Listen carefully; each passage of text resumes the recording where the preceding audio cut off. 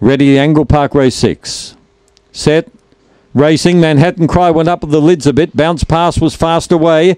Going forward is charging in, and Vanger Bale is pushing up on the rail. He got in front of Manhattan Cry. They go to the back. Bounce pass out by three. Vanger Bale is second. Around the outside, Emily Lane is starting to run on. Manhattan Cry not travelling like an odds on favourite. A long gap in the field, then two charging in. Well back can't resist. Roxette Bale. They run up to the turn. Bounce pass is still a mile in front. Bounce pass is going to bolt in. Getting up for second. Emily Lane, Manhattan Cry third, then charging in. Vanger Bale didn't come on when expected, and Roxette Bale was last to greet the judge. 30 and 12, early speed wins again. 5, 2, 1, and number 6 is fourth. The winner, number 5, Bounce Pass.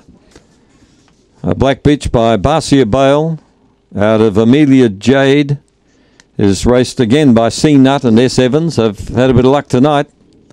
Tony Rasmussen, the trainer, and whelped in February 14. Second two, Emily Lane finished off very well. Third to one, Manhattan Cry, and fourth was charging in. And Vangabale, the one we thought might come on hard,